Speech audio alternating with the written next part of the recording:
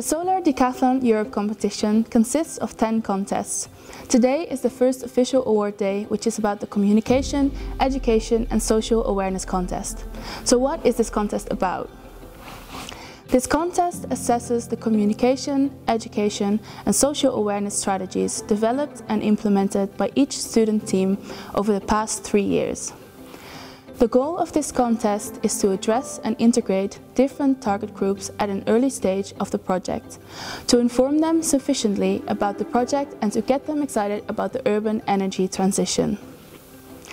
So today, each student team will present their own integrated communication strategy and perform educational concepts and actions for the general public.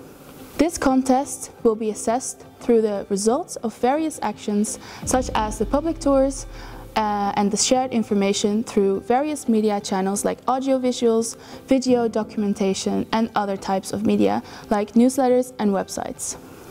During the day, a jury of experts in the field of communication and education will award the scores and the student team with the highest score will win this first award.